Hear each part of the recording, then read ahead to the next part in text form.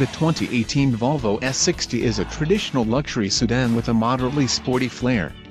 With its comfortable interior, broad lineup, efficient powertrains, and high safety scores, the 2018 S60 is a good choice unfortunately let down by an outdated infotainment system.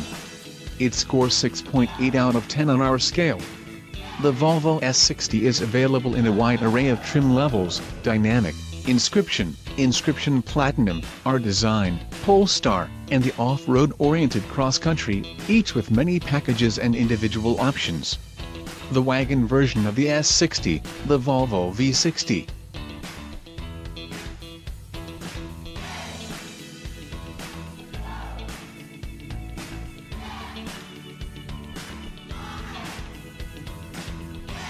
This year may be the current S60's last. To mark the occasion, heated seats and a heated steering wheel are now standard instead of optional.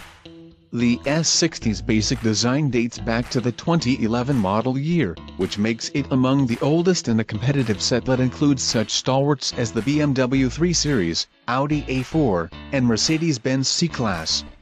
Parked next to newer designs like the larger S90 sedan in Volvo's showroom, the S60 can look a little frumpy and dated.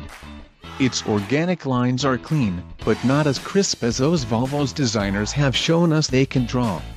Still,